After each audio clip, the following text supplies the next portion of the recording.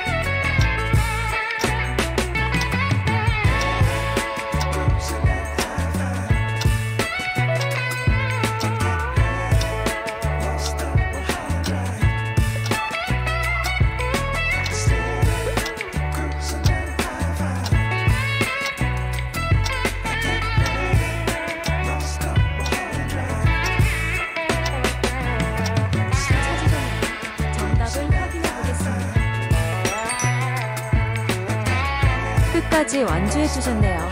모두 고생하셨습니다.